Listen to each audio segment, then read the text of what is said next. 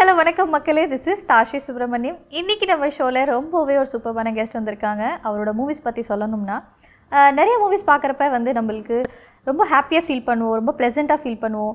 சில மூவிஸ் பார்க்குறப்ப நம்ம இமோஷனலாக ஃபீல் பண்ணுவோம் அழுக வரும். ஆனால் சில மூவிஸ் பார்த்தா தான் நம்ம வந்து ரொம்ப யோசிப்போம் சிந்திக்க வைக்கும் நம்மள சில மூவிஸ் ஸோ அந்த மாதிரி ஒரு சூப்பரான ஒரு வெப் சீரிஸ் ஜி ஃபைவ் ஆப்பில் அயலின்னு சொல்லிட்டு வந்து மிஸ்டர் முத்துக்குமார் அவர்கள் வந்து டெலிவர் பண்ணியிருக்காரு ஸோ அவர் கூட வாங்க பேசலாம். ஹாய் சார் ஹலோ வணக்கம். வணக்கம். வணக்கம். எப்படி இருக்கிறீங்க? Happy happy okay super so இந்த கொஸ்டின்ஸ் போகிறதுக்கு முன்னாடி உங்களோட சைல்ட்ஹுட் பற்றி சொல்லுங்கள் நீங்கள் எந்த ஊர்? லைக் எங்கே born and brought up? Nagapattinam பிறந்து வளர்ந்தது எல்லாமே அங்கே தான். இன்ஜினியரிங் திருச்சியில். Then move to Chennai film industry engineering okay எல்லா இன்ஜினியரும் சொல்கிற மாதிரி ஃபீல்டில் வந்திருக்கிறீங்க பட் இன்ஜினியரிங் படிச்சிருக்கிறீங்க. ஓகே ஸோ நீங்கள் ஃபீல்டில் வந்து எவ்வளோ வருஷங்கள் ஆகுது ஆகுது? Then two thousand nine onwards நான் அங்கேருந்து வந்தப்போ நம்ம நம்ம காலேஜ் படிக்கும்போதே எனக்கு இந்த ஐடியா இருந்தது. அப்படியே வந்து முடிச்சுட்டு வந்து ஒர்க் ஜாயின் பண்ண உடனே நான் வந்து தேட ஆரம்பிச்சிட்டேன். ஐ அப்படியே சர்க்கிள் கிரியேட் ஆயிடுச்சு. Then move into okay so உங்களோட ஃபர்ஸ்ட் ஃபர்ஸ்ட் ப்ராஜெக்ட் எது? அண்ட் என்ன ஏஜில் நீங்கள் உங்களோட ஃபர்ஸ்ட் ப்ராஜெக்ட் பண்ணீங்க? இல்லை நான் நான் முடிச்சுட்டு வந்தோடனே started working in ad films என்னோட ஃப்ரெண்ட்ஸ் வந்து ஃபிலிம் இன்ஸ்டியூட்ஸில் கொஞ்சம் பேர் படிச்சுட்டு இருந்தாங்க. ஸோ அவங்களோட ஷார்ட் ஃபிலிம்ஸ் ஒர்க் பண்ணுறது ஆட் ஃபிலிம்ஸில் ஒர்க் பண்ணுறதுன்னு ஆரம்பிச்சிட்டேன். லேட்டராக அப்படியே சம்வேர் அப்படியே அங்கங்கே விட்டு விட்டு போயிட்டு இருக்கோம். Ad films and movies discussions அப்படின்னு போய்கிட்டே இருந்துச்சு. ஓகே இந்த மாதிரி ஒரு பெரிய அயலி அப்படின்னு சொல்லி ஒரு வெப் சீரிஸ் நீங்கள் எடுத்திருக்கிறீங்க. ஸோ உங்களுக்கு வந்து ஃபஸ்ட்டு இந்த மாதிரி தான் ஒரு வெப் சீரிஸ் எடுக்கணும் அப்படின்ட்டு உங்களுக்கு எப்படி ஒரு ஐடியா வந்தது ஃபஸ்ட்டு இல்லை இப்போ இது ஒன்றும் ஃபர்ஸ்ட் ஸ்டோரி இல்லை. நம்ம க்ரியேட் பண்ண ஃபர்ஸ்ட் ஸ்டோரி இல்லை அது. நிறைய எழுதிக்கிட்டே இருப்போம். சடனாக ஒரு ஒரு ஒரு லைன் நம்மளை வந்து ரொம்ப கிக் பண்ணும் இல்லையா? அந்த மாதிரி ஒரு விஷயமா இது அமைஞ்சது. தென் இதை பிக் பண்ணி இதை பண்ணணுன்ற புஷ் கொஞ்சம் அதிகமாக இருந்தது. ஸோ இதை எடுத்துகிட்டு ட்ராவல் பண்ண அதான் ஸோ இந்த நீங்கள் சொன்ன மாதிரி ஏதோ ஒரு விஷயம் உங்களை கிளிக் பண்ணியிருக்கோம் இல்லையா? ஸோ எந்த விஷயம் வந்து உங்களுக்கு தோணுச்சு இந்த மாதிரி ஒரு ஜான்ரால நம்ம வந்து இந்த வெப் சீரிஸ் இல்லை இது இதுவும் அண்ட் அந்த ஸ்டோரி கிரியேட் ஆன பாயிண்ட்டும் ரெண்டுமே ஒன்று தான் நான் நினைக்கிறேன். என்னன்னா ஒரு ஒரு இன்சிடெண்ட் ஒரு பொண்ணு வந்து குழந்தைக்கு வந்து கல்யாணம் பண்ணி வைக்கிறாங்கங்கிற அந்த இன்சிடெண்ட் தெரிய வந்தப்போ ஒரு ஷாக் இருந்துச்சு. ஏன்னா நம்ம ஊரில் இப்படி நடக்காதுன்னு நானும் நம்பிட்டு இருந்தேன். இந்த இன்சிடென்ட் எனக்கு கேட்காத வரையில். Four five years back so அப்போ ஒரு இது வந்து ஒரு ஒரு ஹார்ட் ஹிட்டிங் அந்த ஓ இது இப்படி நடக்குதா? அப்போ நமக்கு தெரியாமல் இந்த மாதிரி விஷயங்கள் நடந்துக்கிட்டே இருக்குது நம்ம தான் அதை கவனிக்கிறது இல்லை அப்படி. ஸோ அந்த மொமெண்ட் அதுக்கு அதுக்கு அடுத்து அதை பற்றி பேசும்பொழுது இந்த மாதிரியான விஷயங்கள் நடக்குது அப்படின்னா நம்ம என்ன பேசுவோம்? நம்ம அது அது தப்பாக இருக்குது சொசைட்டியில் அதை நம்ம பேசணும்னு நினைக்கிறத விட யார் இதில் மோஸ்ட்டு விக்டிம் அவங்களே அதை பேசினா எப்படி இருக்கும்னு பண்ணும்பொழுது இந்த ஸ்க்ரீன் பிளேக்கான ஐடியா கிடைக்க ஆரம்பிச்சிருச்சு. ஸோ அந்த மொமெண்ட்லேருந்து இது கதையாக மாறிடுச்சு. ஸோ அந்த புஷ் தான். இதை ஒரு பொன் குழந்தையே பேசினா எப்படி இருக்குன்ற அந்த ஒரு ஐடியா தான் ஹிட்டிங்காக இருந்தது. ஓகே இது இது கதை அப்படின்னு முடிவு பண்ணேன் ஓகே ஸோ உங்களுக்கு இந்த ஐலி அந்த படத்தோட வந்து ஸ்கிரிப்ட் நீங்கள் சொன்ன மாதிரி உங்களுக்கு ஒரு ஐடியாலேருந்து வந்து நீங்கள் டெவலப் பண்ணியிருந்தீங்க இல்லையா? ஸோ இந்த மாதிரி ஒரு வெப் சீரிஸ் எடுக்கிறது இப்போ நீங்கள் ஒரு ஸ்டோரி வச்சுருக்கீங்க. இப்போ ரெண்டு ஹவர் படமாக எடுத்துட்டீங்க அப்படின்னா அதுவே வந்து actually it's a difficult thing ஏன்னா ஒரு ஆடியன்ஸோட ஃபுல் கன்சன்ட்ரேஷன் அதில் இருக்கணும். ஸோ நீங்கள் ஒரு எயிட் எபிசோட் பண்ணியிருக்கிறீங்க அதில் so almost four to five hours வந்து same thing it's going on so how difficult it was like for you இல்லை இந்த இந்த- ஸ்டோரிக்கு கொஞ்சம் லென்த் தேவையும் பட்டுச்சு. நான் நான் ஃபிலிமுக்கு ஐடியாவாக இது எழுதும்போதே கூட அது வந்து ஒரு டூ ஹவர்ஸில் இதை வந்து முடிக்க முடியாத சிக்கல் இருந்தது. நிறைய விஷயம் தேவைப்பட்டது டீட்டெயிலிங் தேவைப்பட்டது. அண்ட் ஹெவியான போர்ஷன்ஸ் இருந்துச்சு. அப்போது வெப் சீரிஸுங்கிற ஒரு ஆப்ஷன் வரும்பொழுது இது பெட்டராக இருந்தது. கம்பேரிட்டிவ்லி இந்த கதைக்கு தேவையான லென்த்து இந்த கதைக்கு தேவையான லேயர்ஸை காமிக்கிறதுக்கும் நிறைய கேரக்டர்ஸோட சுச்சுவேஷன்ஸோட டைலமாஸ் அதெல்லாம் ஹேண்டில் பண்ணுறதுக்கு ரொம்ப ஈஸியாக இருந்தது. ஸோ ஃபார் திஸ் ஸ்டோரி இது இன்னும் பெட்டராக கன்வே பண்ணுறதுக்கு ஈஸியாக இருக்கும் அப்படின்னு தோணுது வெப் சீரிஸை அந்த பேட்டர்னில் ஒரு ஒருத்துக்கு ஒரு ப்ளஸ் அண்ட் மைனஸ் இருக்கும் இல்லையா? ஸோ வெப் சீரிஸ்க்குன்னு இருக்கிற ப்ளஸ் எனக்கு தேவையான கதைக்கான லென்த்தை கொடுத்துச்சு. அண்ட் அதுக்கு இன்னும் கேரக்டர்ஸ் மல்டிபிள் கேரக்டர்ஸ் வழியாக கதையை பேசுகிறதுக்கும் யூஸ்ஃபுல்லாக இருந்தது. ஸோ உங்களோட கதையை பற்றி நீங்கள் சொன்னீங்க. ஒரு படத்தில் வந்து ஒரு பெரிய ஹீரோ இருக்காங்க. இல்லை ஒரு பெரிய ஹீரோயின் இருக்காங்க. ஒரு செம்ம ட்ரெண்டிங்காக சாங்ஸ் இருக்காங்க. அந்த மாதிரி சாங்ஸ் இருக்குது அந்த மாதிரி விஷயங்கள் வந்து ஆப்வியஸ்லி ஒரு ப்ளஸ் பாயிண்ட் பட் உங்கள் கதையில் வந்து ஸ்கிரிப்ட் இஸ் த ஹீரோ கரெக்ட்டுங்களா no big artist no big heroes big heroines அந்த மாதிரி எதுவும் இல்லை. ஸோ நீங்கள் அந்த ஸ்கிரிப்டை வந்து ஹீரோவாக வச்சுக்கணும் அப்படிங்கிறப்ப you had to put lot of work and effort right so அதுக்கு நீங்கள் வந்து என்ன மாதிரி ப்ரிப்ரேஷன் எல்லாம் பண்ணீங்க? இல்லை இது இப்போ நமக்கு யூஸ் பண்ண ஆர்டிஸ்ட் எல்லாருமே வந்து மேபி இந்த கமர்ஷியல் not பிக்குங்கிற. வார்த்தைக்குள்ள வராம இருக்கலாம் but they're very known personalities தான். யாருமே வந்து தெரியாத ஆட்கள் கிடையாது. அண்ட் அப்புறம் இந்த கதைக்கு தேவையான ஷேட்ஸ் இந்த கேரக்டர்ஸால் ஹேண்டில் பண்ணணும் இல்லையா?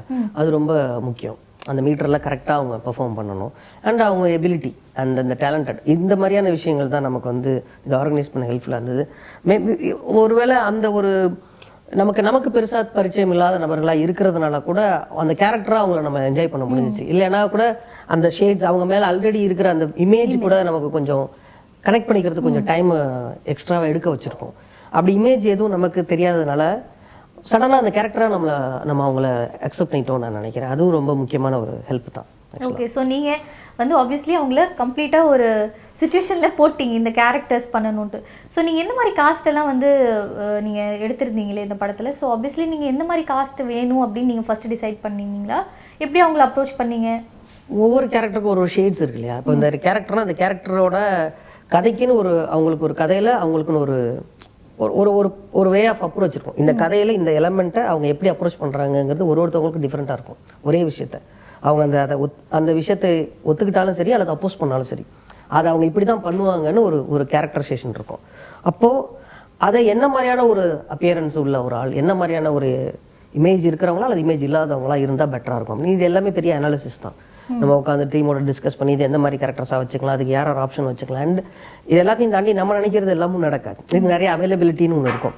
நம்ம நம்ம பெர்ஃபார்மர் நம்ம இப்போ சூப்பர் ஆர்டிஸ்ட் போனோம்னா அவங்க அவைலபிளாக இருக்கணும் இல்லையா? அவங்க ஆல்ரெடி பிஸியாக இருப்பாங்க. ஸோ இந்த மல்டிபிள் காம்பினேஷன்ஸ் தேவைப்படும். ஒரு ஆர்டிஸ்ட்டை கொண்டாந்து ஒரு இடத்துக்குள்ள நிப்பாட்டுறதுக்கு. நாட் ஒன்லி எனக்கு பிடிச்சிருக்கணும் அல்லது பெர்ஃபார்மர்னோ அல்லது அவங்களுக்கு இந்த கதை பிடிச்சிருக்கணும் டைம் இருக்கணும் அப்படி எதுவும் செட் பண்ண முடியாது. அதுக்குள்ள நிறைய மல்டிபிள் லெவல் ஆஃப் ஃபில்டர்ஸ் இருக்கு.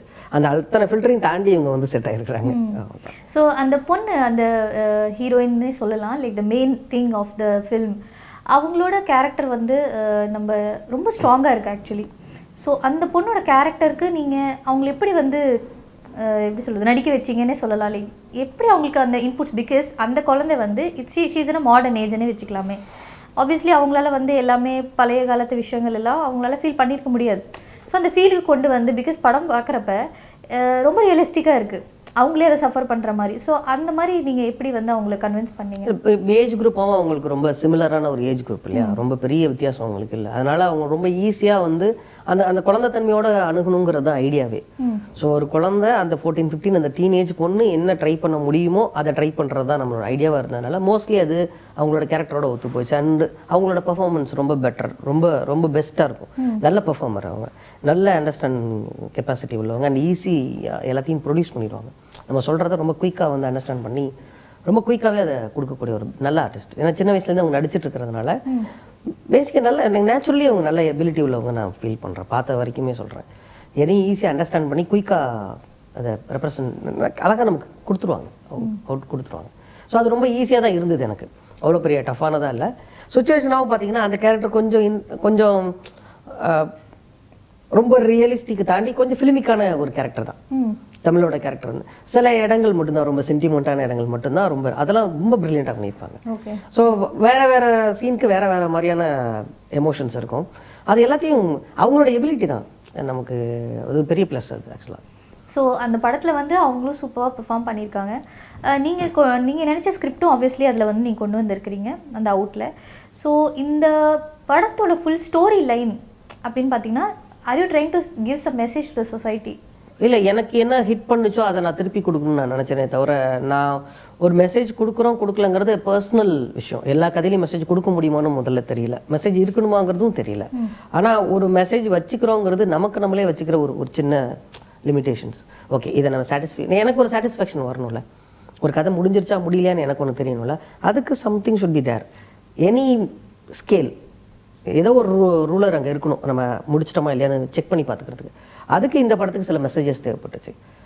இந்த கதைக்கு சில மெசேஜ் தேவைப்பட்டது. அதை நம்ம அதில் ஃபிக்ஸ் பண்ணிட்டோம் அவ்வளோதான் கதை இட் செல்ஃப் ஒரு பொண்ணுக்கு நடக்கிற ஒரு குழந்தை திருமணம். அது அந்த குழந்தைய தடுக்குதுங்கிறப்பவே அதில் ஒரு மெசேஜ் வந்துருச்சு ஆட்டோமேட்டிக்கலி தட்ஸ் அவுட் லேண்டட் அவ்வளோதான் நான் நினைக்கிறேன். ஓகே ஸோ ஒரு சின்ன பொண்ணுக்கு வந்து ஒரு கல்யாணம் பற்றி பேசுகிறாங்க ஒரு டென்த்து படித்து படித்து முடித்த உடனே. ஸோ இந்த மாதிரி விஷயங்கள் வந்து நீங்கள் உங்கள் படத்தில் காட்டியிருக்கிறீங்க? How far it's real in reality world ஏன் எனக்கு இந்த இன்சிடென்ட் தெரியறதுக்கு முன்னாடி வரைக்கும் நானும் ஹோ ஃபார் இட்ஸ் ரியல் அப்படின்னு தான் நினச்சிக்கிட்டு இருந்தேன். ஃபோர் இயர்ஸ் பேக் ஆல்ரெடி தோணுனேன் நான் வந்து ஒரு குழந்தைக்கு திருமணம் நடக்குது அப்படின்னு தெரியாத வரையில இது நம்ம ஊரில் நடக்குதுங்கிறது எனக்கும் தெரியாது. ம் அது தெரிய வரும் பொழுது எனக்கு ஒரு மாதிரி ஷாக்காக இருந்தது. ம் அந்த ஷாக்ல தான் நாங்கள் அதை பற்றி பேசிகிட்டு இருந்தோம். அப்போ தான் இந்த ஐடியாவே கிரியேட் ஆச்சு. நம்ம நல்லா டெவலப் ஆயிட்டோம் சூப்பராக இருக்கும். நம்ம நினச்சிட்டு இருக்கும்பொழுது எஸ் நம்ம டெவலப் ஆயிட்டோம். ஒரு பக்கம் டெவலப் ஆயிட்டோம் இன்னொரு பக்கம் டெவலப் ஆகாமல் இருக்கோம். அப்படிங்கிற டார்க் சைடும் எனக்கு தெரிய வந்தது. So still this stigma is there Yeah. Child marriage everywhere everywhere yes everywhere so நீங்க வந்து பார்த்த சில இன்சிடென்ட்ஸ் அந்த மாதிரி ஏதாச்சும் ஷேர் பண்ண முடியுங்களா? இன்சிடென்ட்னா கேட்ட இன்சிடென்ட் தான். அண்ட் செகண்ட் லாக்டவுன் டைம்ல ஒரு குழந்தை திருமணம் நடக்குதுன்னு செய்தி தெரிய வந்தது. என்னோட ஃப்ரெண்ட் சர்க்கிள் மூலியமா. அது தடுக்க ட்ரை பண்ணோம். ஆக்சுவலி நடந்துருச்சு. நடந்துருச்சு. நடந்துருச்சு. அப்போ நீங்க லைக் என்ன ட்ரை பண்ணீங்க? எப்படி? இல்ல இது வந்து யாரோ ஒரு ஒரு எதிரி வந்து பண்றது இல்லைல்ல. நீங்க பிடிச்சிட்டு கொண்டு போய் ஜெயில்ல போட்டு அவங்கள தண்டிக்கிறது அப்படிங்கிறது கூட இருக்க பேரண்ட்ஸ் தானே பண்றாங்க. அதை அவங்க நல்லதுன்னு நினைச்சு பண்றாங்க. நான் பொண்ணுக்கு கரெக்டானது பண்றேன். நம்ம ஏன் அதை அதை சொல்லும் பொழுது அவங்க ஏன் அதை அவ்வளோ நாங்க ட்ரை பண்ணோம் ஆக்சுவலி தடுக்கிறதுக்கு ட்ரை பண்ணோம். அந்த ப்ராசஸையும் மீறி அது நடந்துருச்சு. நடந்துருச்சு. நடந்துருச்சு. அப்போ அந்த மாதிரி நடக்கிறப்ப there is no help right like from the society பேரண்ட்ஸும் ஹெல்ப் பண்ணல. ஸோ அந்த பொண்ணு அந்த சின்ன மனசுல அந்த சின்ன ஒரு குழந்தை மனசுல என்ன மாதிரி ஃபீலிங்ஸ் எல்லாம் ஓடும்னு நீங்க அந்த படத்துல காட்டியிருக்கீங்க இல்லையா? ஸோ அந்த ஆர்டிஸ்ட் வந்து நடிச்சிருக்காங்க அதே சேம் அவங்க கிட்ட இருந்து உங்களுக்கு ஏதாச்சும் ஃபீட்பேக் வந்துச்சா? ஆ, என்னன்னா இப்போ நீங்க சொன்னது மாதிரி அவங்க ரொம்ப சின்ன பொண்ணுங்க நடிக்கிறவங்க எல்லாரும் வளர்ந்தது பெரும்பாலும் நம்ம யூஸ் பண்ண எல்லாருமே சென்னையிலே வளர்ந்தவங்க. சென்னை சிட்டி படிச்சு ஒரு லெவலுக்கு இருந்து மீடியாக்குள்ள வந்து ஒர்க் பண்ணணும்னு ட்ரை பண்ணி இதுக்காக லைஃப் வந்து ஸ்பெண்ட் பண்ணி இருக்கிற அந்த அளவுக்கு எக்ஸ்போசர் உள்ளவங்க. ஸோ இதை ஃபர்ஸ்ட் டைம் அவங்களுக்கு சொல்லும் பொழுது அவங்க வேற ஏதோ விஷயங்களோட தன்னோட லைஃபோட கனெக்ட் பண்ணிக்கிறாங்களே எஸ் இந்த மாதிரி சில விஷயங்களை நான் வந்து ஃபேஸ் பண்ணுறேன் என் ஃப்ரெண்ட்ஸ் சொல்லியிருக்காங்க எங்க அம்மா சொல்லியிருக்காங்க. நானே இந்த மாதிரி சில விஷயங்கள் ஃபேஸ் பண்ணியிருக்கேன். அப்படின்னு வேற வேற விதமான ஏஜ் குரூப்ல இருக்கவங்க வேற வேற விதமான விஷயங்களை ஷேர் பண்ணிக்கிறாங்க. அப்போ இது ஸ்டில் ரிலவெண்ட் தான். இது வந்து ஏதோ ஒரு எனக்கு ஏதோ தோணுன ஒரு குவர்க்கியான ஒரு ஐடியா ஃபிலிமியான ஐடியா நினச்சி நம்ம பண்ணலை. எல்லார் லைஃப்லையும் ஏதோ ஒரு இடத்துல கனெக்ட் ஆகிருக்கு அப்படின்லாம் தெரிய தெரிய வந்துச்சு அண்ட் நான் ஸ்பாட்லேயுமே வந்து ஒருத்தவங்கள பார்த்தேன். ஓ. இதே போல் ஃபிஃப்டீன் இயர்ஸில் கல்யாணம் பண்ணி கொடுக்கப்பட்ட ஒரு பெண் அவங்க டுவெண்ட்டி டுவெண்ட்டி ஒன் அப்போது ஆக்சுவலாக அவங்க டூ தௌசண்டில் பிறந்திருப்பாங்க. டூ தௌசண்ட் பிறந்திருப்பாங்க. டூ தௌசண்ட் ப்ளஸில் பிறந்திருக்கலாம் டூ தௌசண்டில் பிறந்திருக்கலாம். ஸோ அவங்களுக்கு பதினஞ்சு வயசில் நடந்திருக்குன்னா டூ தௌசண்ட் ஃபிஃப்டீனில் நடந்திருக்கு. இல்லையா? ஓகே ஸோ நீங்க ஷூட் பண்ண இடமும் நீங்க சொன்ன மாதிரி நீங்க ரியலாவே நீங்க அந்த character பார்த்துருக்கனால it's in village okay so அந்த வில்லேஜில் வந்து அஹ், நீங்க அந்த மாதிரி நீங்களே பார்த்தீங்க. யாரோ சொல்லி நீங்க சொல்றீங்க இல்லையா? ஸோ அந்த வில்லேஜில் இருக்கிறவங்க எல்லாரையும் வந்து நீங்க யூஸ் பண்ணீங்களா ஆக்டிங்க்கு மோஸ்ட்லி வந்து பார்த்தீங்கன்னா இந்த நமக்கு அந்த சப்போர்ட்டிங் ஆர்டிஸ்ட் எல்லாருமே அதுக்குன்னு ஒரு ஏஜென்ட் இருப்பாங்க. இப்போ மதுரை காரைக்குடி பக்கத்தில் இருந்து அந்த மாதிரி கூட்டிகிட்டு வருவாங்க. சம் லிட்டில் அமௌண்ட் வந்து நம்ம கிராமத்து மக்களையும் நம்ம யூஸ் பண்ண முடியும். இது ஏன்னா இதுக்கு இது ஒரு ஒரு பெரிய ப்ராசஸ் காலையிலேருந்து சாயங்காலம் வரைக்கும் அந்த ஷூட்டிங் ஸ்பாட்டில் நிற்கணுங்கிறது ஒரு பெரிய டெடிகேஷன் அது பார்க்கும்போது இன்ட்ரெஸ்டடாக இருக்கும் மக்களுக்கு பட் நிற்க முடியாது அவங்களால. ஸோ ரொம்ப யூஸ் பண்ண முடியாது. ரொம்ப லிமிட்டடாக யூஸ் பண்ணியிருக்கோம் சரி இவங்க இவ்வளோ நேரம் இருந்தால் போதும்னா அவங்கள நாங்கள் யூஸ் பண்ணியிருக்கோம் இன்னும் கொஞ்சம் பெட்டரான கனெக்ஷன் கிடைக்குமே அப்படிங்கிறதுக்காக. அதுக்காக யூஸ் பண்ணியிருக்கோம் அப்போ அந்த கிராமத்து மக்களோட ஃபீட்பேக்கோ ரியாக்ஷன் எப்படி இருந்தது? இது என்ஜாய்டு ஆக்சுவலி ஒரு ஒரு டைம் நாங்கள் வரும்பொழுது நாங்கள் பழகிட்டோம். ரொம்ப ஈஸியாக பழகிட்டோம். அண்ட் அந்த குழந்தைங்கலாம் வந்து திடீர்னு ஒரு ஷாட்டில் இந்த இடத்துல நாலு குழந்தைகள் இருந்தால் நல்லா இருக்கணும் அவங்க வீட்டு குழந்தைகள் வருவாங்க. ஆக்சுவலாக எங்களுக்கும் அந்த டைம் லீவாக இருந்தது. ஸ்கூல் ஓப்பன் பண்ணாமல் இருந்த டைம் லாக்டவுன் முடிஞ்சு ஓப்பன் பண்ணாமல் இருந்த டைம் அதனால எங்களுக்கு நிறைய இடங்கள் கொஞ்சம் ஹெல்ப்ஃபுல்லாக இருந்தது. சம் சம்டைம்ஸ் வந்து சண்டே சாட்டர்டே சண்டே நம்ம ஒர்க் பண்ணுறோம் அப்படின்னா அந்த டைம் நமக்கு வந்து ஹெல்ப் பண்ணுவாங்க. டைம் இருந்த வரைக்கும் ஹெல்ப் பண்ணிக்கிட்டே இருந்தாங்க. நாங்கள் சின்ன சின்ன ப்ராப்பர்ட்டிஸாக இருக்கட்டும். ஏன் லைவாக இருக்குன்னா அவங்க வீட்டில் யூஸ் பண்ணுற ப்ராப்பர்ட்டிஸே நாங்கள் யூஸ் பண்ணோம். அதனால எங்களுக்கு வந்து ரொம்ப ஈஸியாக இருந்தது. அதை காமிக்கிறது ரொம்ப யூஸ்டாக இருக்கும் அந்த பொருட்கள் எல்லாம். அந்த இடம் அவங்க வீடு அப்படியே நாங்கள் காமிக்கும் பொழுது அதுக்கெல்லாம் அவங்க சடனாக ஒத்துக்கிட்டாங்க. திடீர்னு ஒரு வீட்டில் போய் ஷூட் பண்ணணும்னு கேட்போம். ஓகே ஒரு ஃபைவ் மினிட்ஸ் தான். ரெடி ஆகிடும் அந்த இடம். ஓகே அந்த அளவுக்கு சப்போர்ட்டிவாக சப்போர்ட்டிவாக இருந்தாங்க. ஸோ அந்த மாதிரி நீங்கள் ஒரு கிராமத்தில் ஷூட்டிங் பண்ணதுனால சேம் கதையை நீங்கள் வந்து ரெப்ரசன்ட் பண்ணிட்டு இருக்கீங்க இல்லையா? அவங்க கிட்ட இருந்து ஏதாச்சும் சொன்னாங்களா? இந்த மாதிரி எங்கள் கிராமத்துல நடக்குது? இல்லை இது தப்பு இல்லை இது ரைட்டு அந்த மாதிரி ஏதாச்சும் ஒரு விஷயங்கள் எல்லாம் பேசிட்டீங்க ஆனால் ஒருத்தவங்க வந்து சொன்னாங்கன்னு சொன்னேன். நடிக்க வந்த ஒருத்தவங்க அவங்க ஜூனியராக நடிக்க வந்த ஒருத்தவங்க அவங்க வந்து இந்த போல என் லைஃப்பில் நடந்துச்சுன்னு ரொம்ப இமோஷனலாக ஷேர் பண்ணிட்டாங்க. ஓகே அவங்க கூட நடந்திருக்கா? இல்லை அவங்க லைஃப்ல அதான் நான் சொன்னது வந்து twenty twenty one twenty two அந்த மாதிரி ஏஜ் உள்ள ஒரு பொண்ணு அவங்க. அவங்களுக்கு ரெண்டு குழந்தைங்க இருக்காங்க. அவங்க வந்து married when she was fifteen அப்போ அவங்க அதான் ஷேர் பண்ணிக்கிட்டாங்க. சார் இது கண்டிப்பா பண்ணணும். எனக்கு இப்படி நடந்துருக்கு. நிறைய பேருக்கு நடக்குது. வெளில சொல்ல மாட்டாங்க. நல்ல விஷயம் நீங்க பேசுறீங்க. அப்படின்னு ரொம்ப இமோஷனலாக பேசிட்டு போனாங்க. அண்ட் சில சில இடங்கள்ல ஒன்று ஒரு சில பேர் நம்ம அப்படி பார்க்கவும் நேர்ந்தது. சின்ன வயசுல கல்யாணம் ஆன குழந்தைகளையும் பார்க்கவும் நேர்ந்தது. அங்கங்க. அது நடந்துகிட்டே இருக்கும். ஓகே நீங்கள் ஷூட்டிங் பண்ணுற இடத்துலயே அது அது எல்லா இடத்துலயும் இருக்குல்ல இப்போ நமக்கு இது வந்ததுக்கு பிறகு சீரியஸ் வந்ததுக்கு பிறகு ஒரு தமிழ்நாட்டில் அவ்வளோரா சைல்ட் மேரேஜ் அண்டர் எயிட்டீன் எவ்வளோ நடந்திருக்குன்னு செக் பண்ணால் டுவெல் பர்சன்டேஜ் நடந்திருக்கு.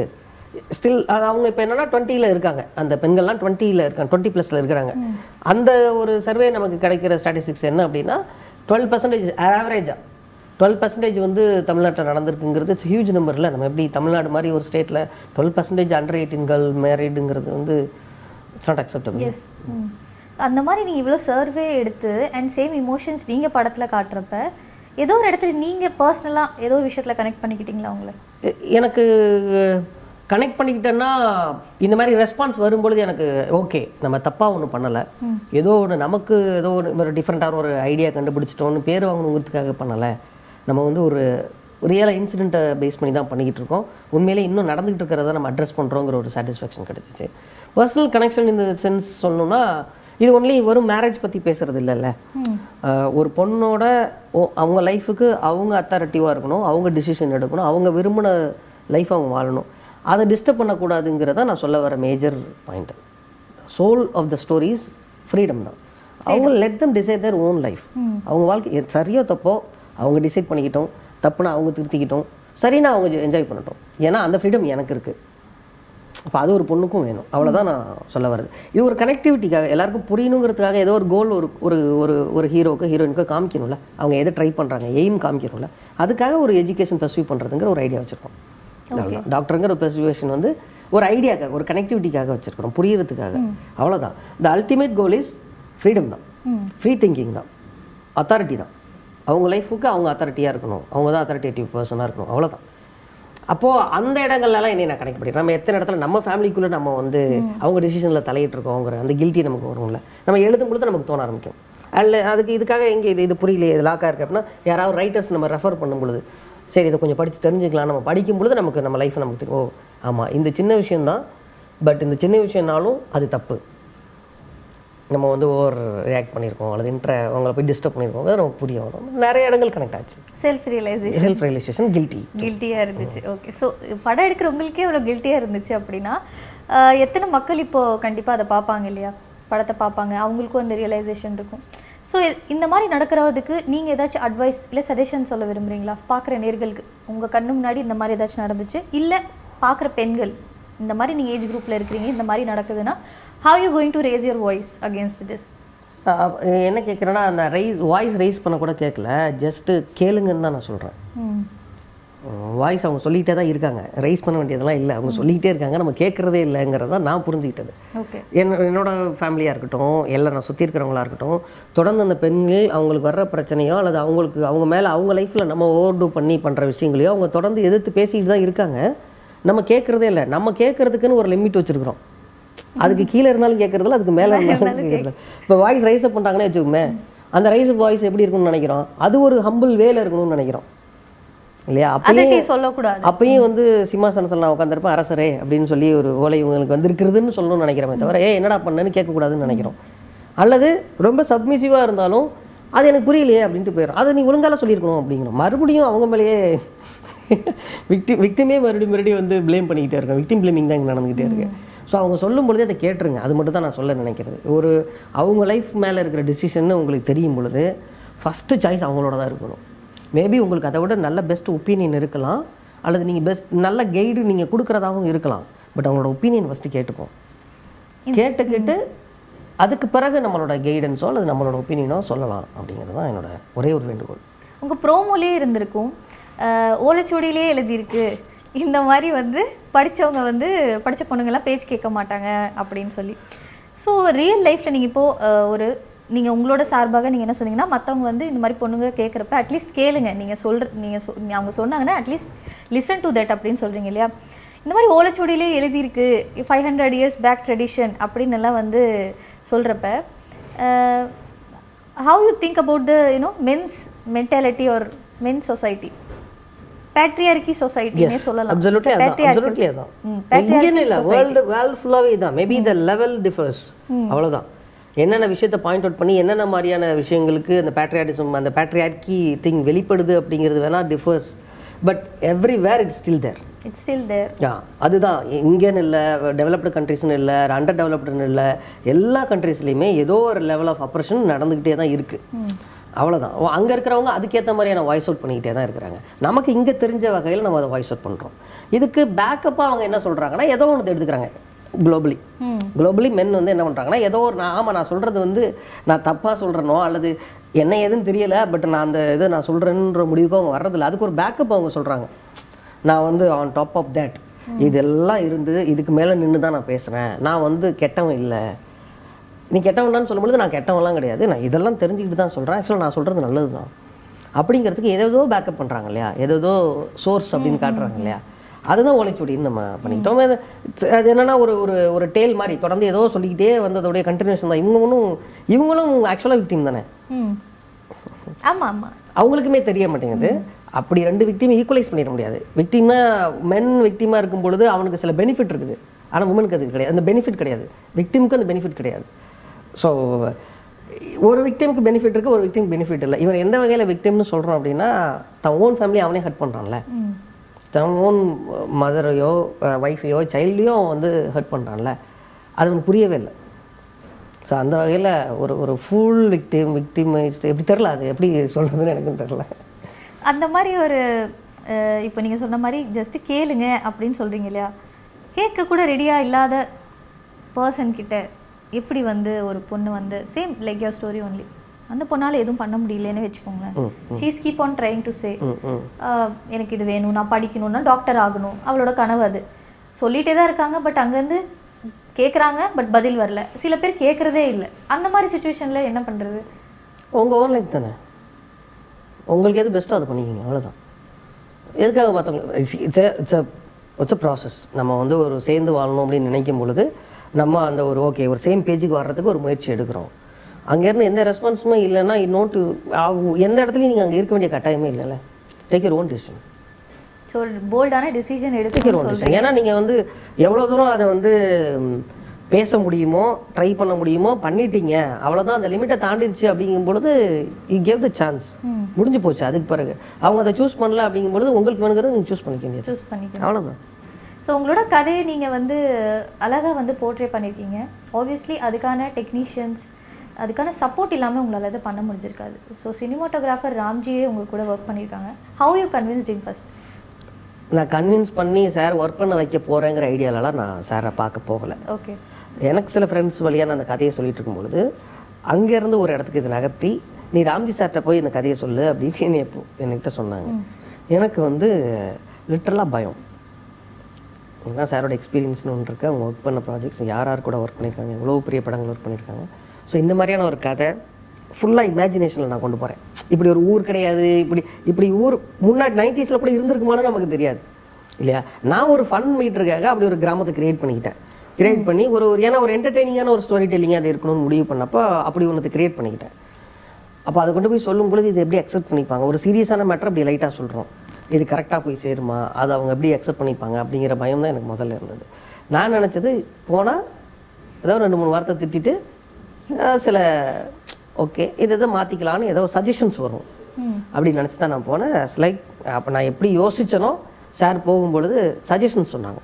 And very important suggestions okay சரி பாய் அவ்வளோதான் முடிஞ்சிருச்சு. அப்போ நல்ல திட்டல நம்மள நினச்சிக்கிட்டு நான் வெளில வந்துட்டேன். லேட்டராக எனக்கு ஒரு நான் ஒரு சார் மூலியமாக தான் சார் பார்த்தேன். அவங்கள்ட்ட பேசும்பொழுது அந்த ப்ராஜெக்ட் நான் ஒர்க் பண்ண இன்ட்ரெஸ்டடாக இருக்கேன். டேரக்டருக்கு ஓகேவான்னு கேட்டிருக்காங்க. எனக்கு வந்து என்ன சார் சொல்கிறீங்க நேரம் நான் இதை எக்ஸ்பெக்ட் பண்ணலை. சார் ஒர்க் பண்ணுவாங்கன்னு சார்கிட்ட கேட்கணும்னு நான் நினைக்கவே இல்லை. அண்ட் சார் உள்ளே வந்துட்டாங்கன்னு சொன்னோன்னே எனக்கு ரொம்ப ஹாப்பி ஆயிடுச்சு சரி இதுக்கு மேலே வேறு என்ன சார் வேணும் எனக்கு? அப்படின்னு சொன்ன பிறகு சார் தான் அடுத்த ஸ்டெப்க்கு இதை கொண்டு போனாங்க. ஜி ஃபைவ் கொண்டு போனதும் சரி. ஜி ஃபைவ்க்கு அந்த மீட்டிங் கிடச்சது. எல்லாமே ராம்ஜி சார் மூலியமாக நடந்தது. அதுக்கு முன்னாடி இது பல பேர் எனக்கு வந்து ப்ராசஸ் பண்ணியிருக்கிறாங்க. என்னுடைய பழைய டைரக்டர்ஸ் நிறைய பேர் எனக்கு ஹெல்ப் பண்ணாங்க. And இந்த ப்ராசஸ் கொஞ்சம் குயிக்காக நடந்துச்சு. சார் அல்ல ஆ, ராம்ஜி சார் வழியா. நீங்க வந்து ஓடிடில தான் ரிலீஸ் பண்ணணும் அப்படின்னு ஒரு இதுல இருந்தீங்களா? இல்ல தியேட்டர்ல ரிலீஸ் பண்ணலாம்? இல்லை ஐடியாவாக இது எழுதும் பொழுது நமக்கு அப்போ அப்போ நான் அந்த கொரோனா பிஃபோர் நான் அதை முடிச்சிட்டேன். ஸோ நமக்கு ஓடிடி நமக்கு அவ்வளோவா நமக்கு வந்து சேரல நம்ம கைக்கு. ஓடிடி இருந்துச்சு பட் நம்ம பீப்புள் அவ்வளோவா அதை வந்து உள்ளே போகலை. ஓடிடி பிளாட்ஃபார்முக்குள்ளே போகலை. அப்போ நமக்கு ஒரு டவுட் இருக்கும்ல இது ஓடிடிக்குள்ளே அப்பயும் வந்து பேசினாங்க. பிஃபோர் கொரோனாவே இது ஓடிடியில் ரிலீஸ் பண்ணலாம். ஃபிலிமாவே அப்படின்ற ஐடியாவும் இருந்தது. பட் எனக்கு வந்து யோசனையாகவே இருந்துச்சு இது எப்படி போய் எல்லாருக்கும் சேருமா? அப்போ ஓடிடி பீப்புள் எந்த கேட்டகரி பீப்புள் பார்க்குறாங்கங்கிறது ரொம்ப முக்கியம் இந்த கதையை பண்ணும் பொழுது. அந்த டார்கெட் இந்த டார்கெட்டா நம்ம பண்ற படத்துக்குன்னு ஒரு டார்கெட் இருக்கும். அந்த டார்கெட்டும் இந்த பிளாட்ஃபார்ம் யூஸ் பண்றவங்களோட டார்கெட்டும் ஒண்ணா சேர்ந்தாதான் அதோட மேக்ஸிமம் நம்ம அச்சீவ் பண்ண முடியும். அது எனக்கு டவுட்டாகவே இருந்தது. ஆஃப்டர் லாக்டவுன் ஓடிடியோட ரைஸ் இருந்தது. ஓகே அப்போது இது கரெக்டாக இருக்கும் அப்படின்னு தோணுது. ஓகே ஸோ ராம்ஜி சார் வந்து உங்களுக்கு ஆப்வியஸ்லி இதில் நிறைய ஹெல்ப் பண்ணியிருக்காங்க. ஆமாம் கண்டிப்பாக ஸோ அவர்கிட்ட இருந்து நீங்கள் ஒர்க் பண்ணுறப்ப what you learn from him as you said is like learned பர்சன்னே சொல்லலாம். ஸோ அவர்கிட்ட நீங்கள் ஒர்க் பண்ணுறப்ப உங்கள் எக்ஸ்பீரியன்ஸ் இல்லை என்ன விஷயங்கள் கற்றுக்க நம்ம சில விஷயங்களை வந்து தியரியாக வச்சுருப்போம் மைண்டில் அதாவது இப்படி இருக்கணும் இப்படி நடந்துக்கணும் டெடிகேட்டடாக இருக்கணும் செட்டிலாக இருக்கணும் இப்படி பண்ணணும் பயங்கர ஹார்ட் ஒர்க் பண்ணணும்லாம் நம்ம வந்து யோசிச்சிருப்போம். நமக்கு ப்ராக்டிக்கலாக அதை வந்து ப்ராக்டிஸ் பண்ணுறதுக்கு டைமும் இடமும் கிடச்சிருக்கு. அதெல்லாம் லிவிங் எக்ஸாம்பிளாக இருப்பார் சார் நம்ம பார்க்கும்பொழுது ஃபீல்டில் பார்க்கும்பொழுது ஓகே அவ்வளோ இது. உனக்கு என்ன வேணும்? அப்படின்னு கேட்டுட்டு அதில் இருக்கிற மைனஸ் சொல்கிறது இருக்குல்ல. சரி எனக்கு இது வேணும் இது வேணும் அப்போ இது இது போவீங்களா இது இது போவீங்களா? ஆமாம் சார் இது அப்போ இதை அதில் எடுத்துக்கலாம். அதை இதில் எடுத்துக்கலாம். இல்லை சார் எனக்கு கொஞ்சம் வேணும்.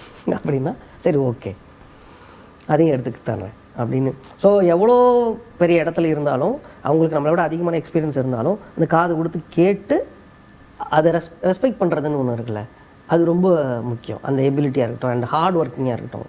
நம்ம வந்து இன்ஸ்டண்ட்டாக எல்லாத்துக்கும் எல்லாத்துக்கும் எனி டைம் அவைலபிளாக இருக்கிறதுங்கிறது இருக்கட்டும். ரொம்ப டயர்ட் ஆகிட்டேன் ரொம்ப ஒர்க் பண்ணிட்டேன் போதும். இன்ஸ்டண்ட்டாக அவைலபிளாக இருக்கிறது இல்லையா எப்பொழுதுமே. அந்த விஷயம்.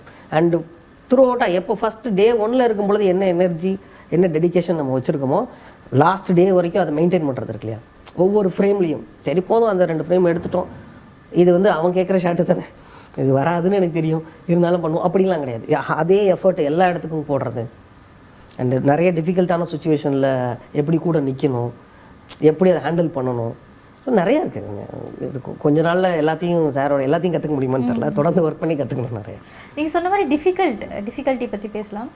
இந்த மாதிரி ஒரு படம் இருக்கிறப்ப அதுவும் eight episode almost four hours the most difficult part you short difficult parts அப்படின்னா நமக்கு வந்து ஹெவி எக்யூப்டு பொசிஷன்ஸ் டைம் தான் நம்ம சொல்லணும். ஏன்னா க்ரௌடு வரும் பொழுது நமக்கு நமக்கு ஒரு வெரி லிமிட்டட் லிமிட்டட் டைம் தான் நமக்கு கொடுத்துருப்பாங்க. அப்போ ஒரு ஒரு நூறு பேரை இரநூறு பேரை ஒரு ஷாட்டில் கொண்டாந்து நிப்பாட்டி ஒரு ஷாட் ரோல் பண்ணுறதுங்கிறது இட்ஸ் நாட் ஈஸி நமக்கு அது ஒரு ஷெடியூல் வச்சுருப்போம் விச் இஸ் இம்பாசிபிள் பட் அப்படி தான் நம்ம ஷெடியூல் பண்ண முடியும். ஓகே ஓகேங்களா அப்போ அந்த ஷெடியூலுக்குள்ள அதை அதை முடிக்கிறது அப்படிங்கிறப்போ நிறைய ப்ராப்ளம்ஸ் இருக்கு. ஹெவி எக்யூப்டு போர்ஷன் போகும் ஆல்ரெடி ஏன்னா வி ஸ்பெண்ட் மோர் அந்த அந்த டைமில் அப்போ அதை வந்து we have to utilise at the most இல்லைன்னா அது எல்லாமே வீணாக போயிடும். அந்த இது வந்து ரொம்ப இதாக இருக்கும். டிஃபிகல்ட்டாக இருக்கும் நமக்கு அதை. அந்த மாதிரி ஆர்கனைஸ் பண்ணி பண்ணுறது அந்த டைமில் ஸோ இந்த மாதிரி நீங்கள் டிஃபிகல்ட் மூமெண்ட்ஸ்லேயோ இந்த மாதிரி எடுத்து நீங்கள் ஒரு அவுட் கொடுக்குறப்ப which is your best scene இல்லை திஸ் இந்த ஒரு கான்வர்சேஷனோ உங்களுக்கு ரொம்ப பிடிச்ச சீன் உங்களோட ஃபுல் சீன் நான் ஃபன்னான ஆள் எனக்கு ஃபன் மூமெண்ட்ஸ் தான் ரொம்ப பிடிக்கும். ஆக்சுவலாக அது ரொம்ப தப்பு சொல்கிறது ஏன்னா நிறைய பேர் உயிரை கொடுத்து நடிச்சிருக்கிறாங்க. ஓகே நிறைய மொமெண்ட் ரொம்ப எமோஷனலான மொமெண்ட்லாம் இருந்துச்சுன்னா அந்த ஏஜில் அவங்க அந்த ஏஜில் யோசிக்க முடியாத விஷயங்கள்லாம் அவங்க யோசிச்சு நடிச்சிருக்கிறாங்க. ஸோ அதெல்லாம் அவ்வளோ ஒர்க் இருக்குது அனுபவம் மேமோட பெர்ஃபார்மன்ஸ் அவ்வளோ இருக்குது லிங்கா ப்ரோ சிங்கமொழி சார் நம்ம சொல்லிக்கிட்டே போகலாம். நிறைய அவங்களோட விஷயங்கள்லாம் மெனக்கெட்டு நடிச்சிருக்கிறாங்க டிஃபிகல்ட்டிஸ் தாண்டி. நான் பேசிக்காக ரொம்ப ஃபன்னாக ஜாலியாக இருப்பேங்கிறேன். எனக்கு ஃபன் சீன்ஸ்லாம் ரொம்ப இன்ட்ரெஸ்டிங்காக இருக்கும். ரொம்ப ஜாலியாக இன்வால்வ் ஆகி பண்ணுவேன். பிடிச்சதுன்னு சொல்ல முடியாது எனக்கு கதை ஒவ்வொரு சீனும் நம்ம பார்த்து பார்த்து தானே எழுதுறோம். பார்த்து பார்த்து தானே ஃப்ரேம் வைக்கிறோம். அதனால் எல்லா மொமெண்ட்டும் என்ஜாய் பண்ணி பண்ணியிருப்போம்.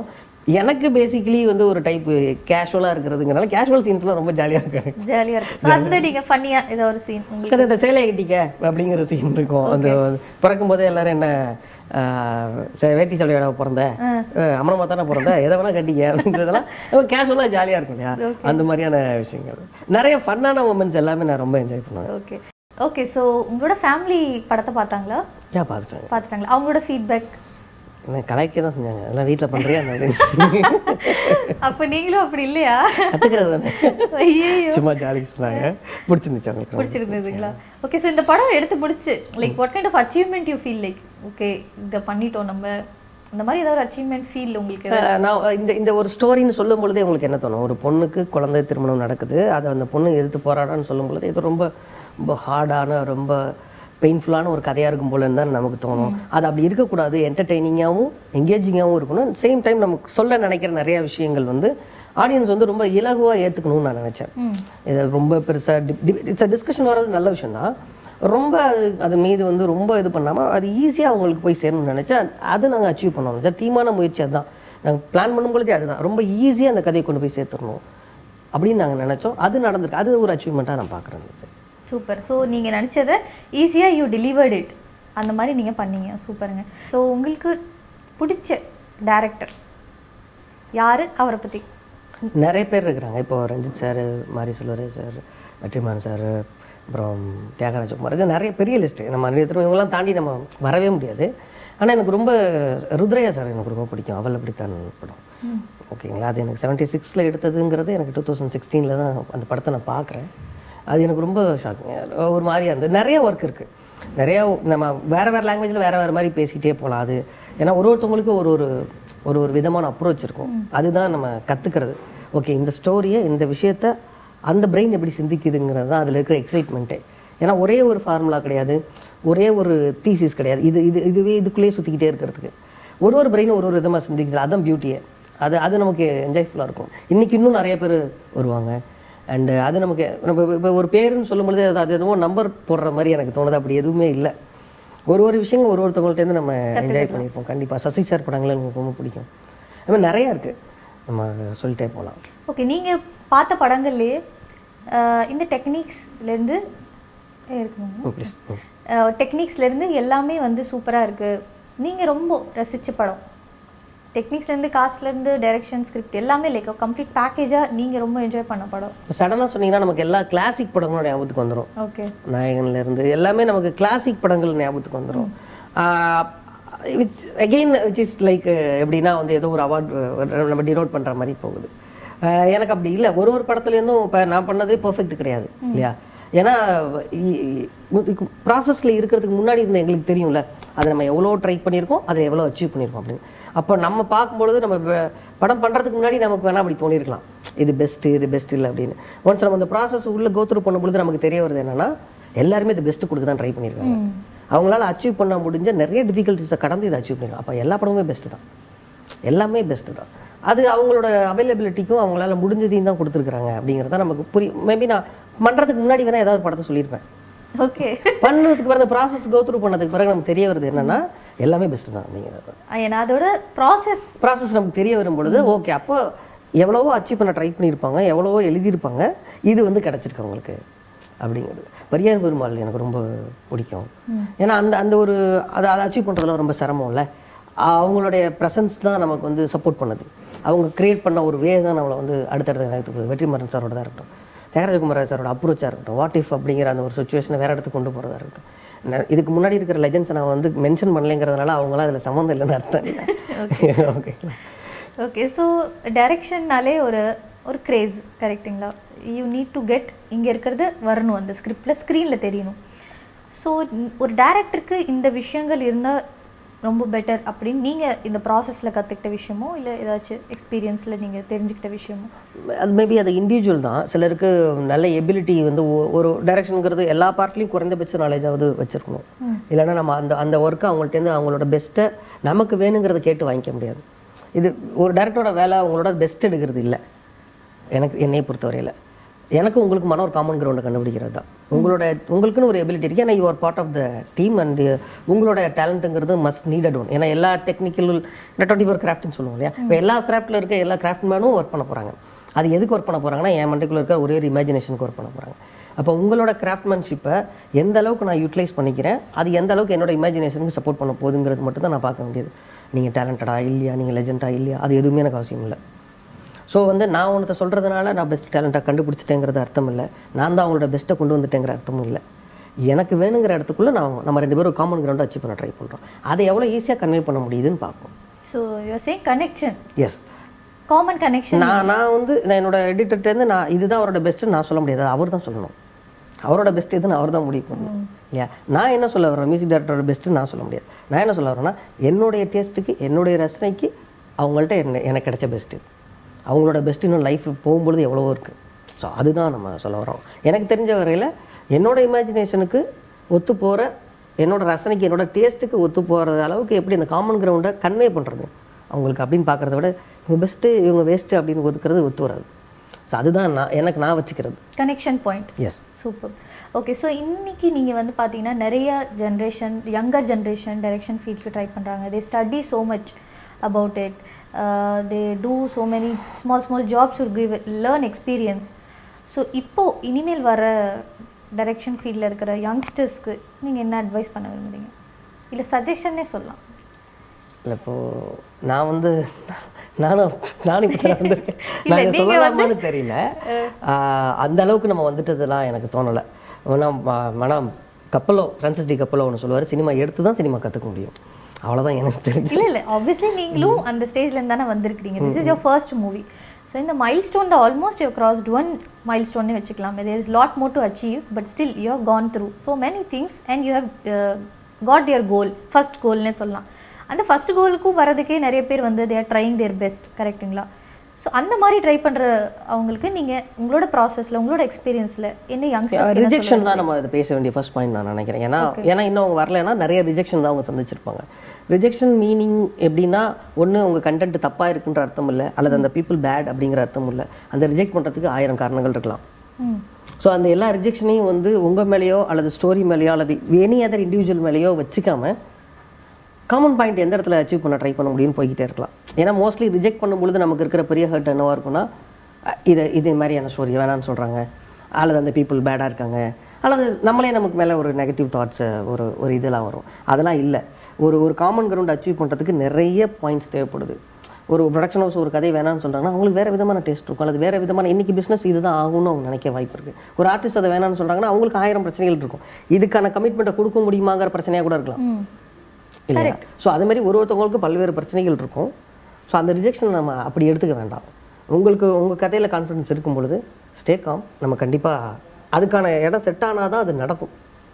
ஸோ அதுதான் நான் ரிஜெக்ஷனை வந்து வி ஹாவ் டு ஃபேஸ் பேச அவ்வளோதான் கரெக்ட் சூப்பர் அதே மாதிரி நீங்கள் வந்து ஐலி படத்தில் வர நீங்கள் காட்டின விமன் பற்றியோ அந்த சைல்டுன்னு சொல்லலாம். அந்த மாதிரி இருக்கிற கேர்ள்ஸ்க்கு நீங்கள் என்ன அட்வைஸோ இல்லை சஜஷன் கொடுக்க மோஸ்ட்லி நான் கேர்ள்ஸ்னு மட்டும் இல்லை நான் சொல்ல வந்ததே வந்து எதுக்குன்னா ஏன் ஒரு குழந்தையோட பெர்ஸ்பெக்டிவ் எடுத்துக்கிட்டோம் அப்படின்னா குழந்தைகளோட வாய்ஸ் நம்ம கேட்குறதே இல்லை அப்படிங்கிறதுனால தான் அது ஆண் குழந்தையா இருக்கட்டும் பெண் குழந்தையா இருக்கட்டும்.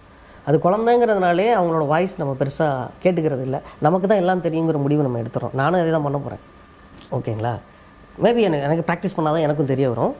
அது வேண்டாம். அப்போது அதை வந்து சொல்லும் பொழுது அந்த குழந்தைங்களுக்கு சொல்லும் பொழுது எனக்கு குழந்தைகளுக்கு என்ன சொல்கிறதுன்னு எனக்கு தெரில நான் பேரண்ட்ஸுக்கு தான் சொல்லணும்னு நான் நினைக்கிறேன். ஓகே. ஓகேவா? பேரண்ட்ஸ்க்கு தான் சொல்லணும் குழந்தைங்க சொல்லணும்னா சொல்லிருங்கன்னு மட்டும்தான் குழந்தைகள்ட்ட சொல்ல முடியும்னு நான் நினைக்கிறேன். ப்ளீஸ் உங்களுக்கு தோணுச்சுன்னா சொல்லிருங்க. பயப்படாதீங்க. ஓப்பன் அப் ஓப்பன் அப் அவ்வளோதான் அவ்வளோதான் குழந்தைகளை சொல்கிறது நான் நினைக்கிறேன். லிசன் அப்படின்னு பேரண்ட்ஸுக்கு சொல்லலாம்னு நினைக்கிறேன். ஓப்பன் அப் அண்ட் பேரண்ட்ஸ்க்கு இல்லைங்க. சொல்கிறது வந்து லிசன். லிசன் டு சூப்பர்ங்க ஸோ இந்த மாதிரி ஒரு படத்தை நீங்கள் இப்போ எடுத்திருக்கிறீங்க. Next which genre you want to take over இது ஒரு இந்த இந்த மாதிரி ஜான்ரா மட்டும் தான் பண்ணுவோங்கிறதுல ஆக்சுவலாக எனக்கு இந்த மாதிரி இன்னொரு ஜான்ரா பண்ண முடியுமான்னு தெரியல. இது ஒரு ஒரு இன்சிடென்ட் கிடச்சிச்சு இல்லையா? ஒரு இன்சிடென்ட்லேருந்து நமக்கு ஒரு இன்னொரு பெர்ஸ்பெக்டிவ் கிடச்சிச்சு. நம்ம இது கதையாக கிரியேட் ஆச்சு ஸோ பாக்கி எல்லாமே ஆஸ் யூஸ்வலாக ஜாலியாக என்டர்டெய்னிங்காக எங்கேஜிங்கான ஃபன் அண்ட் லவ்விங் ஆக்ஷன் அந்த மாதிரியானதாக இருக்கும் அனிமேஷன்ஸ் எல்லா எல்லாமே நம்ம மைண்டுக்குள்ளே ஓடிட்டு இருக்கு ஏன்னா இன்னைக்கு இன்னும் நீங்கள் கேட்டிங்களே இன்னும் எங் வர வராமல் இருக்கிறவங்கள்ட்டே போய் கேட்டிங்கன்னா அவங்க நூறு கதை வச்சுருப்பாங்க. நூறு ஜான்ரா வச்சுருப்பாங்க. அதே போல் நம்மள்ட்டையும் மல்டிபிள் ஜான்ராஸ் இருக்குது எது ஒத்து வருது? எது நம்மளால் அஃபோர்ட் பண்ண முடியும்? எது அமைஞ்சு அமையுதுங்கிறத பொறுத்து தான் நம்ம வந்து அடுத்த ஸ்டெப் எடுக்க முடியும். பட் உங்களுக்கு பர்சனலாக எந்த ஜான்ரா ரொம்ப பிடிக்கும்? இல்லை அது ஒரு இப்போ இந்த ஜான்ராக்கு ஏற்ற மாதிரி நான் ப்ரிப்பேர் பண்ணிக்குவேன். நான் வந்து ரொம்ப கேஷுவலாக ஈஸி கோயிங் இவ்வளோ சென்டிமெண்ட் அண்ட் எமோஷனல் பண்ணுறதுக்கு நான் ப்ரிப்பேர் பண்ணிக்கிட்டேன் ஸோ அதை நான் புரிஞ்சிக்க வேண்டியது. அதே போல் ஒரு ஒரு ஒரு ஒரு கதைக்கும் தேவையான அளவுக்கு நீ நான் ப்ரிப்பேர் பண்ணி ஒரு ஆர்டிஸ்ட் ப்ரிப்பேர் பண்ணணும்ல? அப்போ ஒரு டேரக்டர் ப்ரிப்பேர் பண்ணணும்ல? அந்த கதையை எப்படி பண்ணணும்? எனக்கு வர்ற ஜான் ஜான்ரா மட்டும் நான் பண்ணிட்டு போக முடியாதுல்ல. ஸோ அது ஒரு ஒருத்துக்கு தனித்தனியாக ப்ரிப்பரேஷன் நடந்துக்கிட்டே இருக்கும். பிடிச்சது அப்படிங்கிறது ஈஸியாக ஜாலியாக பண்ணுறது காமெடி அந்த மாதிரி விஷயங்கள் ரொம்ப ரசிப்பேன். ஆனால் அதில் ரொம்ப எழுத மாட்டேன். கொஞ்சம் நமக்கு எது நம்மளை கொஞ்சம் தொந்தரவு பண்ணுதோ அது மீது நமக்கு ஆசை இருக்கும்ல. ஸோ எது நமக்கு கொஞ்சம் டஃப்பாக இருக்கோ அதை பண்ண தான் நம்ம ட்ரை பண்ணுவோம். ஒரு ஆக்ஷன் ட்ராமா முடிஞ்ச வரைக்கும் எல்லாத்துலேயும் ஒரு ஒரு ஸ்ட்ராங்கான ட்ராமா இருக்கணும் நான். ஓகே ஸோ வர ஆக்டர்ஸ்க்கு நீங்கள் ஏதாச்சும் அட்வைஸ் பண்ண விரும்புவீங்களா? பிகாஸ் உங்க மாதிரி ஒரு இடத்துக்கு வர்றதுக்கு அது ரொம்ப டிஃபிகல்ட்டாக இருக்குது சில பேருக்கு. சில பேருக்கு அது என்னன்னே தெரியல. அந்த ப்ராசஸ் எல்லாம் கடந்து தான் நீங்கள் வந்திருப்பீங்க கண்டிப்பாக ஸோ அவங்களுக்கு நீங்கள் ஏதாவது சஜஷன் இது ஆக்டர்ஸ்க்குன்னு இல்லைங்க. நான் பொதுவாக ஒரு நம்ம நம்ம இது எடுத்துப்போமே ஒரு சினிமா ஒர்க் பண்ண வர்றோம். அப்படின்னு வரும்பொழுது இது எதுவுமே வந்து இது சரி இது தப்புன்னு கிடையாது. இதுதான் பெஸ்ட் ஆக்டிங்னோ இது ஒஸ்ட் ஆக்டிங்னோ எதுவுமே கிடையாது. ஓகே ஒரு சுச்சுவேஷன் சொல்கிறோம் அதுக்கு நீங்கள் ஆக்ட் பண்ணுங்கன்றேன் அப்போ நீங்கள் ஆக்ட் பண்ணுறீங்க இல்லை இதில் வேறு பண்ணுங்க அப்படின்னா இல்லை இப்படி தானே ரியாக்ட் பண்ணுவாங்கன்னு சொல்ல முடியாது அந்த இடத்துல. மேபி என்னோட டேஸ்ட் டிஃபர்ஸ் இந்த இடத்துல. நான் இந்த இடத்துக்கு நீங்கள் ரியாக்ட் பண்ண வேண்டியதை இந்த மாதிரி எதிர்பார்க்குறேன். அவ்வளோதான் அர்த்தமே தவிர இப்படி தான் ரியாக்ட் பண்ணணும்னு ரூல்ஸ் அண்ட் ரெகுலேஷன்ஸ் கிடையாது. அப்படி வைக்கக்கூடாது. இல்லையா? ஏன்னா நான் பார்த்த ஒரு ஒரு பர்சனாலிட்டி அப்படி ரியாக்ட் பண்ணியிருப்பாரு நீங்கள் அந்த பர்சனாலிட்டி மீட் பண்ணாமல் இருந்திருப்பீங்க. என் இமேஜினேஷனில் அவரை மட்டுமே வச்சு நான் கேட்குறேன் இல்லை இப்படி இல்லை இப்படி இல்லைன்னா நீங்கள் இல்லை இப்படி தான் ரியாக்ட் பண்ணுவாங்க. அரைஞ்சா இப்படி தான் திரும்பி பார்ப்பாங்க. நீங்கள் சொன்னாலும் அது அரைஞ்சா இப்படி திரும்பி பார்க்கலாம் இது என்னென்னா ஒரு எனக்கு ஒரு இது சினிமாவை பொறுத்த வரைக்கும் எல்லாமே டேஸ்ட்டு தான். லாஜிக்கு மற்ற விஷயங்கள்லாம் அடுத்து செகண்ட்ரி ரசனை தான் ஃபஸ்ட்டு திங் நான் எப்படி இதை ரசிக்கிறேன்? என்னோட ரசனையை எப்படி நான் உங்களுக்கு காமிக்கிறேங்கிறது தான் ஃபஸ்ட்டு திங் நான் ஒரு நான் ஒரு விஷயத்த ஒரு விதமாக ரசிக்கிறேன். அதே ரசிக்கிறத நான் உங்களுக்கு போர்ட்ரேட் பண்ணுறேன் அதை உங்களால் ரசிக்க முடியுதா இல்லையாங்கிறது மட்டும்தான் matters it's all about taste logic and others அதெல்லாம் next next next step so first thing அப்படி ஒன்று பேசும்பொழுது யார் நான் நான் நாட் ஓன்லி ஆக்டர்ஸ் ஓகேங்களா? எவ்ரி டெக்னீஷியன் எல்லாருக்குமே என்னென்னா okay it's a taste difference அப்படிங்கிறத புரிஞ்சுக்கிட்டு அதுக்குள்ளே எப்படி அக்காமடேட் பண்ணணும்னு யோசிக்கணும். நான் சொல்கிறது தான் சரி நான் சொல்கிறது தான் சரின்னு ரெண்டு பேரும் ரெண்டு எக்ஸ்ட்ரீம் நின்று பேசிக்கிறதுனால பிரயோஜனமே இல்லை. ரொம்ப ஒரு அழகான விஷயம் சொல்லியிருக்கீங்க ஆக்சுவலி இந்த மாதிரி ஆன்சர் நான் கேட்டதில்லை. யாருக்கு என்ன வருங்கிறத அவங்க தான் வந்து கரெக்டாக அந்த இடத்துல போய் தேடிக்கிறணும். நம்ம போய் ஒருத்த அப்ரோச் பண்ணுறப்ப அது நல்லா இல்லை அப்படின்னு சொன்னால் ரிஜெக்ஷன் வந்து நம்ம ஃபேஸ் பண்ணிவிட்டு அடுத்த நம்மளோட யாருக்கு சிங் கனெக்ட் ஆகுதோ அந்த மாதிரி நம்ம போயிடணும். சிம்பிளாக சொல்லணும்னா. இந்த விஷயம் வந்து கண்டிப்பாக நிறைய பேருக்கு போய் சேரும். ஏன்னா எல்லாரும் ஒவ்வொரு இடத்துல நிற்கிறப்ப நம்மளுக்கு தான் ஏதோ குறை இருக்காட்டிருக்கு. நம்மளுக்கு தான் தெரியலையாட்டிருக்கு. செல்ஃப் ரியலைசேஷன் முக்கியம் தான். Realization. அதுக்காக நீங்கள் இன்ஃபீரியராக ஃபீல் பண்ணாங்க ஸோ உங்களோட படத்தை சூப்பராக எடுத்து முடிச்சிட்டீங்க. நிறைய ஃபீட்பேக்ஸ் வந்திருக்கும் உங்களுக்கு. ஸோ இப்போ நீங்கள் எப்படி ஃபீல் பண்ணுறீங்க ரொம்ப ஹாப்பி ஏன்னா நாங்கள் ஒரு இந்த கதையை முடிவு பண்ணும்பொழுது ஒரு டார்கெட் வச்சுருந்தோம். ஏன்னா இந்த கதை நம்ம என்ன பிளாட்ஃபார்ம் பண்ண போகிறோம் அதில் என்ன மாதிரியான டார்கெட்டட் ஆடியன்ஸ் இருக்காங்க? அப்போது அதை விட வைடராக எவ்வளோ தூரம் நம்மளால் இதை கொண்டு போக முடியும்? அப்போ எல்லாத்துலேயுமே ஒரு லிமிட்டட் டார்கெட் தான் நம்மகிட்ட இருந்திருக்கும். ஆல் ஓவர் த வேர்ல்டு எல்லாரும் இதை பார்த்து என்ஜாய் பண்ணுவாங்கன்னு நம்ம யோசிக்கவே மாட்டோம். ஃபர்ஸ்ட் திங் ஒரு டார்கெட் ஆடியன்ஸ் அந்த டார்கெட் ஆடியன்ஸை கொண்டு போய் அவங்கள வந்து சாட்டிஸ்ஃபை பண்ணணும். அப்போ தான் அது அடுத்த இடத்துக்கு நகரும். ஸோ அப்படி தான் ஒரு ஒரு ப்ராஜெக்ட் நம்ம அப்ரோச் பண்ண முடியும். ஆனால் இப்போது அது எல்லா இடத்துக்கும் போயிடுச்சு. எல்லா லெவலுக்கும் போயிடுச்சு. அது வந்து நாங்கள் எதிர்பார்க்கவே இல்லை. அதுக்கு பல பேரோட உழைப்பு காரணம். Not only the story not only the technical quality not only the output அப்படி இல்லை. இதை கொண்டு போய் சேர்க்க முயற்சி எடுத்துக்கிட்டு அத்தனை பேருமே. ட்ரெய்லர் ரிலீஸ் ஆனதுலேருந்து ரிலீஸ் பண்ண அத்தனை அதை பற்றி பேசின அதை ஷேர் பண்ண அத்தனை செலிப்ரிட்டிஸ் அண்ட் அடுத்து ப்ரிவியூ பார்த்து அதை அதை கொண்டு பேசின இன்ஃப்ளூயன்சர்ஸ் அதை கொண்டு போய் சேர்க்கணும்னு நினச்ச எல்லாரும் பார்த்த அத்தனை பேரும் சாதாரண மக்கள் முதற்கொண்டு பார்த்துட்டு ஒரு வரியாவது எழுதி அதை ஸ்டேட்டஸ் வச்சுக்கிறவங்க ஷார்ட்ஸ் கட்ஸ் பண்ணி போடுறவங்க மீம் போடுறவங்க இப்படி எல்லா லெவல்லையும் இருக்காங்க. அவங்க தான் ஒரு ஒருத்தவங்களும் இன்னொன்று இன்னொரு பீப்புள்கிட்ட கொண்டு போய் சேர்க்குறாங்க.